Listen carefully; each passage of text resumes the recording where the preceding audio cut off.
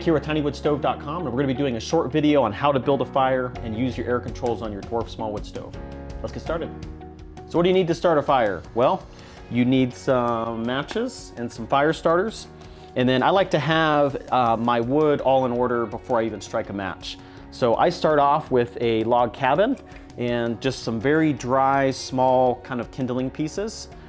And then uh, bit bigger pieces that once that's going hot, I'll put this on and then some bigger fuel pieces and then later on uh, even bigger pieces which could be just larger chunks or uh, compressed, compressed logs.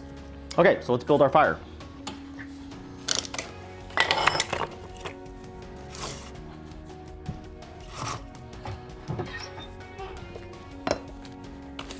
So for st fire starters, I really like these uh, break and burn.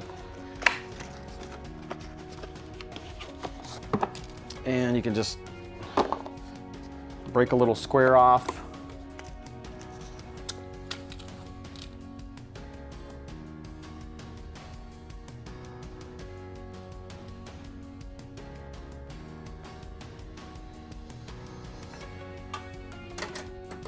So your Dwarf Small Stove has a primary air control, secondary air control, and then your air wash. The easiest thing to do is just to leave all of these wide open. Um, then I have my, my fire starter in there, and I'm just gonna build a little log cabin with my small kindling pieces. There's lots of different ways to do this. You can do a teepee,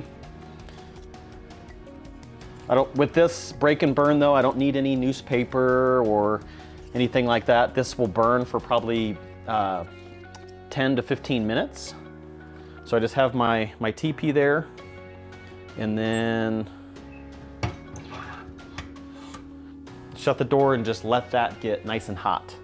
When you're making your fire, you want to start small and before adding bigger fuel, you want that to get nice and hot. If you have different vents inside your house, uh, composting toilet vent, like a hood range vent, um, and your house is relatively tight, you'll probably want to shut those off when starting. Um, it can take a little bit to get a flue system to draft properly, um, building up, up heat.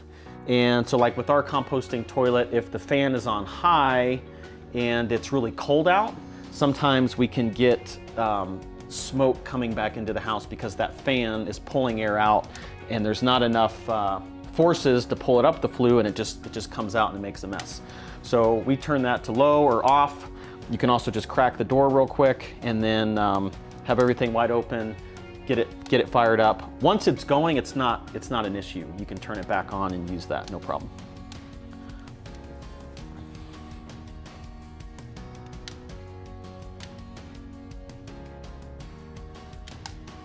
So our log cabin is going nice and hot and we're ready to add on a little bit bigger of fuel. So we're going to, to crack the door. You don't want to just fling the door open. Um, that, can, that can mess with the draft. So I like to crack it. It allows a lot more air in, just kind of let that going and then you can slowly open the door. And then I'm going to add on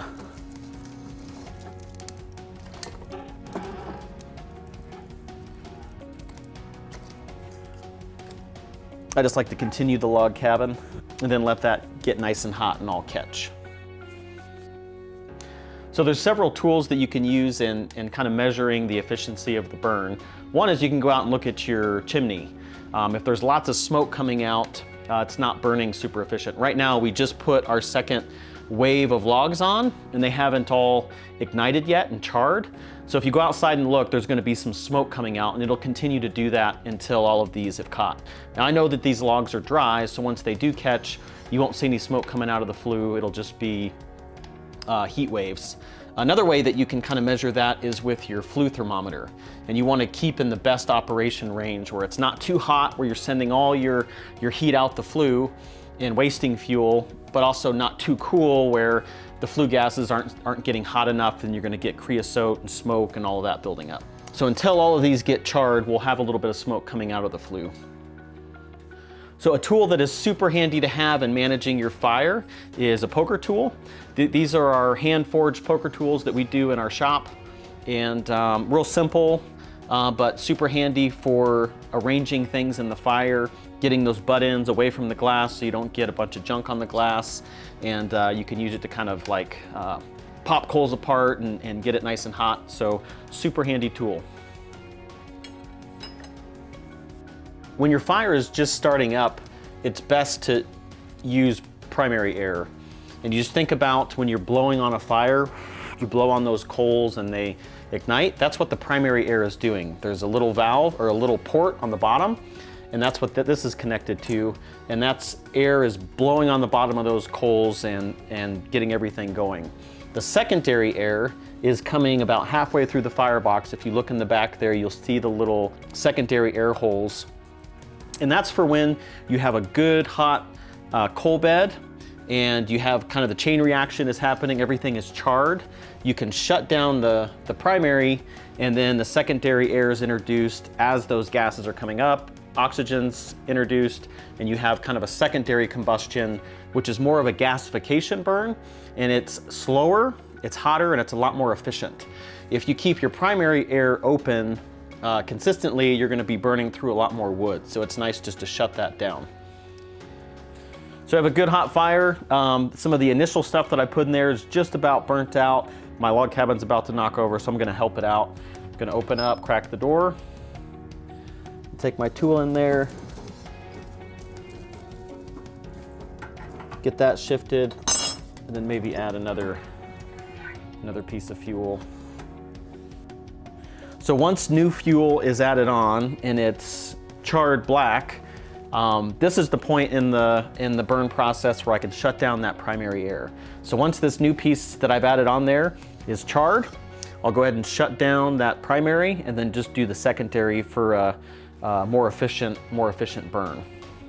Okay, we've been burning our fire for a while. We've been doing it just with the secondary air. Uh, our thermometer looks good. It's still at towards the upper end the best operation. The, the flue is not putting out any smoke. It's just uh, clear kind of heat waves coming out and we're about ready to restoke it. You wanna restoke it when you have a good hot coal base and you're gonna adjust the air when you do that. So getting ready to restoke it, I'm gonna open up my primary. I'm gonna open the door and crack it. And then I like to just kind of chop up, chop up my coals and then I'm gonna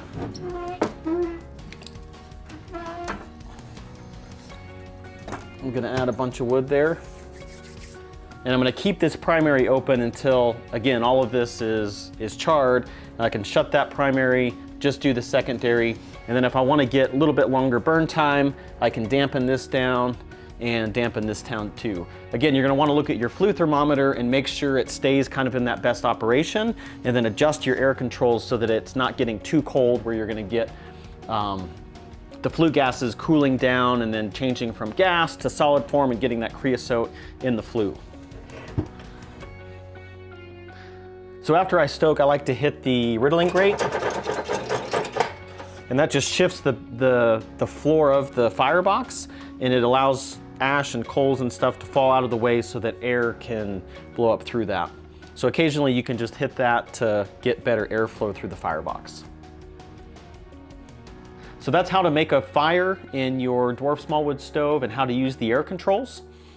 If uh, you would like to check out any of these accessories that we use, the firewood bag, the fire starters, or the poker tool, check out our website, tinywoodstove.com under accessories. And also check out our Learn tab for more tips, tricks, and uh, things with maintaining and using your, your small wood stove. Thanks for watching.